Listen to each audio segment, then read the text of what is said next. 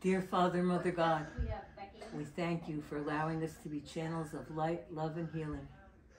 We ask that all energies that flow through Tylor and myself be grounded in Mother Earth, for she, in fact, is the living healer.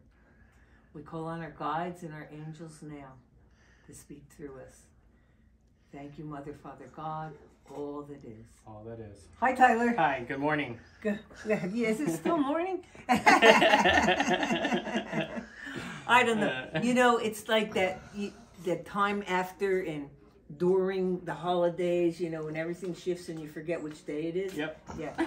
So we got Martin Luther King weekend coming up. Yep. I don't know if you remembered that. I didn't, but Robert. Nope. Yeah. yeah. So, so but anyway, uh, so here we are, and you know, interesting. You wanted to talk about skulls today. Uh, these are my two favorite skulls right here.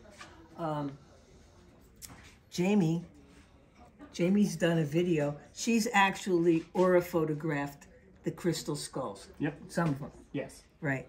And so she she told you watch my video. Yeah, yeah, yeah. you know, maybe, maybe we'll feature her video. But anyway, um, so tell us about this. So it's kind of interesting. I never, and you know what's interesting too is the people that have those crystal skulls. They come into Sedona every few years. Yeah, and they they do. They've come in here. They came in here last year and they brought the skull in. And so it was really interesting because I didn't know too much about them. I just knew like you know tip of the iceberg type stuff. Yes. Um, and, and I just knew that they were supposed to be very um, powerful and very old, and, and nobody really knows how they were carved or where they come from. Um, and and I, then all of a sudden, within the last few months, I've been getting a lot of people coming in and asking about crystal skulls and asking if we have any and talking about them more and more. So I started doing a little bit more research because when I don't know something, I like to, to know a little bit more.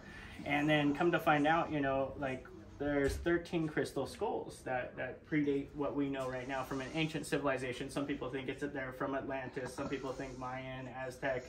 Um, but the Native American legend says that when all when humanity hits a certain point of consciousness or development, um, more skulls will be revealed. And during that time, and when all 13 skulls come together, we will go into a new age or a new era. Um, and which is kind of interesting um, because I, I, the more I'm learning about crystal skulls, I can see the fascination towards it. Um, it does, you know, expand and open these psychic abilities. They're supposed to be supernatural um, and expand any kind of supernatural or paranormal activity. Um, and and you know, it, it's really fascinating because I can see that in today's world.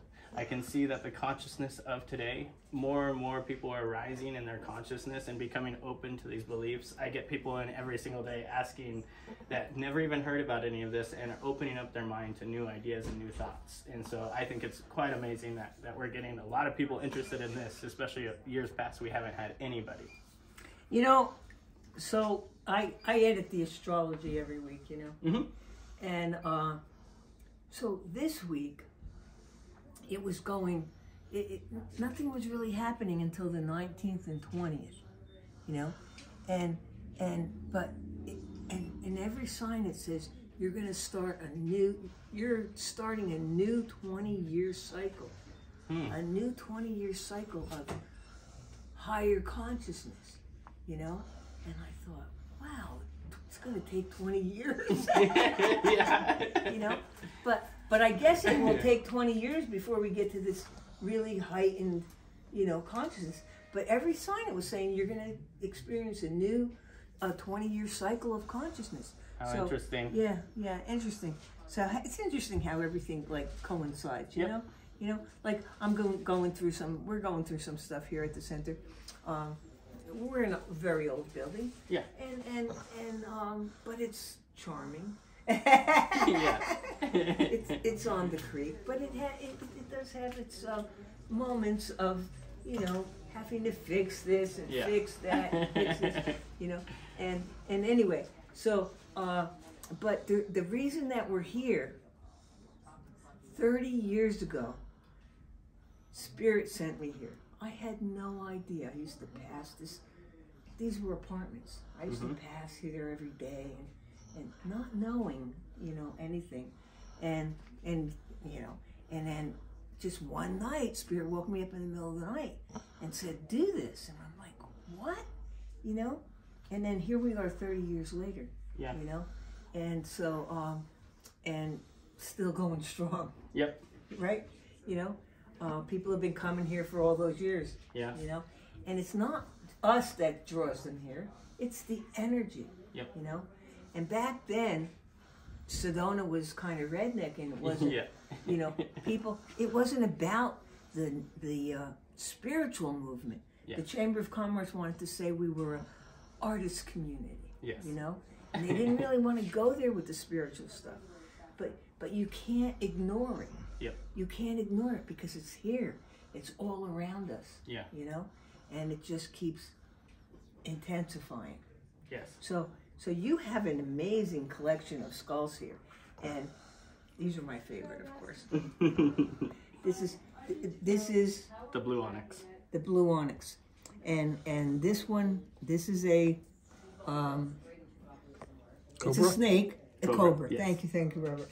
And uh, and cobra has a really big significance in the spiritual world and in the Egyptian world too. Yeah. Yeah, yeah. But anyway, um, tell us a little more about skulls.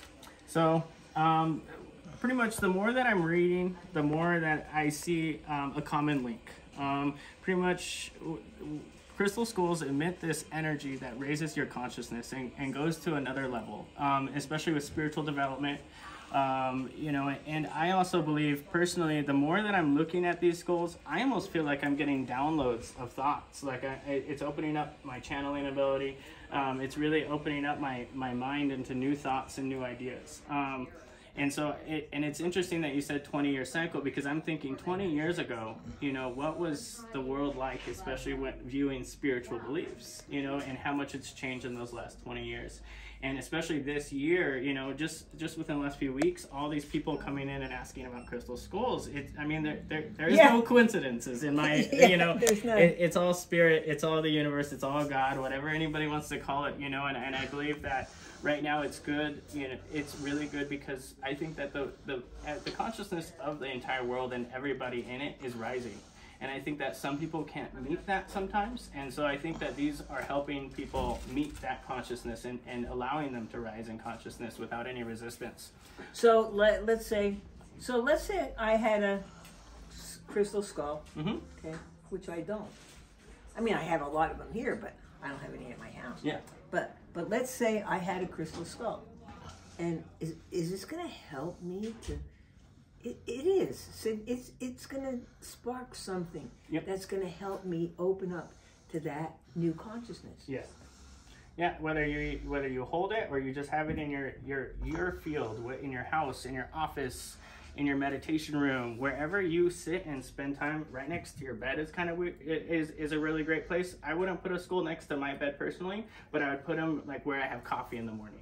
You know, and so I I'm really liking what I'm reading about, especially because the, these crystals affect an area. And You don't necessarily need to have it on you all the time, but the more time that you spend around them, the more time that they are affecting us. And so I do believe that, you know, these all hold unique energies based off of the crystals alone. And then on top of that, the shape of them is really what's going to enhance that that that connection or that that intuition. And you mentioned how people with the, the skulls that they've they have names for Yes. these skulls, and they have come in here and they've had Jamie do, do the aura of the skull, Yes. and it's it's amazing. Yep. You know, to see the actual energy Yeah. of of what you think is an inanimate object. It's Yep. it's not. It's alive. Yeah. and the energy colors of it, which is amazing too. I, I mean, I, I was shocked at watching the video of that, uh, at the colors around the crystal skulls and how unique they were. Yeah. Um, because I, and what I find is fascinating is how old some of those crystal skulls actually were, and we can't even figure out how they made them. Yeah. we can come up with ideas Yeah. because you know and so i think that there's this infinite knowledge that we can tap into and i believe that these are great channels to tap into that and and another thing is too it's like you know i i'm just the more i'm discovering the more i'm liking but like with the clear quartz one that one's that's the ones that they're coming they travel around the world and they have these clear quartz skulls that were um, you know found in south america and they're being uncovered um, you know here and there within the last 200 years they've been finding these crystal skulls. And it falls in line with that Native American belief or the old legend. Um, and so I, I do find it really fascinating because just those people alone, I mean, I remember they, they, them talking about all of this stuff and a lot of it went over my head except for, you know, the, how interesting it was that when the, what they said was, you know, that we're rising in consciousness and the more that we rise in consciousness, the more the crystal skulls are going to come to us. And so, and I really, I really like that. And, you know, we have all different stones. We What, have, what's this one? that one is ocean jasper. Wow, it's really calling me. I Uh, like that one. Yeah, it's really calling, and and it's like it. You can feel like it's from the ocean. Yes. Yeah. Yeah. You can feel that. And this one is That one's another ocean jasper, actually. yeah. See, it's they're calling me. we have this beautiful fluorite one. I like this one a lot. If you put it up to the light, I mean, it's just fascinating the color alone. You know, and these are all carved really well. Um, we have pyrite, we have sodalite, we have obsidian. Um, these are amethyst ones right here. This is actually a fluorite, but it's it's an interesting color how how deep it is. We have moss agate. Um, we have this is called uh, actually sakura jasper. Um, so it's supposed to be cherry blossom jasper, and so these are kind of interesting too. Um, this one's my favorite. I don't know why. I just love clear quartz when it hits a certain clarity and it has all these rainbows inside of Mhm, it. it This does. is just, I, I love it. Um, I, I really, really love it. Um, we have another one that this is hematoid inside of here. So there's actually metals that are inside of here which create this red color and which really amplify the stone itself and the like stone's like abilities. the color that's in our red rocks. Like Correct. yeah. And then we have the alien skulls. And now these alien skulls are very, very popular. I think that we we sometimes can't keep alien stuff off the shelf. And I do, do think that there's a huge connection to crystal skulls and connecting with higher dimensional beings or aliens, as we call them. Um, because they, they kind of go hand in hand. Um, especially when we rise in consciousness, we're going to be more open to this idea of, of other beings in this giant universe. This is kind of an elongated skull. Yep. And and there's something about the Egyptians, you know, because I don't know. I'm just psychically getting that, and I don't know what it's about. Yeah. But um, yeah, these are very interesting. Yeah, so in the Egyptian and uh, some of the Mayan skulls that they've uncovered, the crystal skulls, they're elongated. They're they're Oh, they are. They're very long, yes. And then they found some other crystal skulls that are not elongated. And so I know like the Mayan ones, they're very like kind of pointy like this, and then the Egyptian ones are just very long. So they have different crystal skulls that they found in different places, but they're different sizes and different looks. Which which you know, um, when you get into everything, there's there's different higher dimensional beings, right? And so. Um, I, I mean, I'm just, I'm really liking this. We have information also about crystal skulls right here, and there's just so much more information out there too. I'm just dipping. My, I, I went from the tip of the iceberg into the iceberg. There's still so much more that I still don't know, and I'm still uncovering more and more. Yeah. So this one's kind of interesting because it's obsidian, Yep. and and it has the crow, Yes. you know, on the top, and then here's another one with a crow, Yeah. you know. So uh, and then these are all hand carved too, so they do amazing, amazing work. yeah. I mean, I, I, uh, I couldn't imagine the patience that it went into creating these skulls. It's more of just the patience. It's kind of a mission. Yeah. Yeah. You know, it's kind of like, um, you know, it's kind of like when you're really doing a work of art. Yes. You know, you're you're guided. You know, and and oh, I can't mention any names whose art is really not a real work of art. But but when it is a real work of art and it's channeled, you know it. Yeah. You know, you know it. This didn't just come from copying somebody's Yes. picture. Yeah. yeah, yeah, yeah, yeah. So, anyway, well, thank you for all your research, Tylor, and for um, uh, collecting.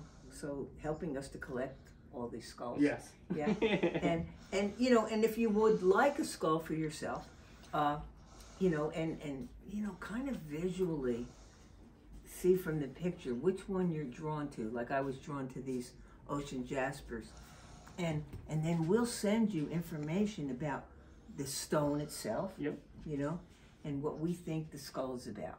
And if you want to learn more, we can send you some books. And uh, this one is, you said it's opalite. Correct.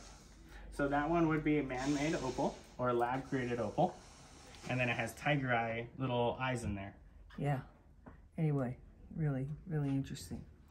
Okay, great. So if you'd like a crystal skull of your own, uh, let us know. Okay, because you know that's what we're doing here. We're trying to raise the consciousness. There's Yeah. so much we don't know. There's so much we don't know. We we study all this stuff and we study the ancients and Egyptians and we said, but there's so much we don't know that people before us knew. Yep. Okay. Tip And- of the iceberg. yeah, and we've dumbed it down, Yes. you know? And so, um, so anyway, uh, it's all about exploring and learning, okay? Have a great week. Thank you.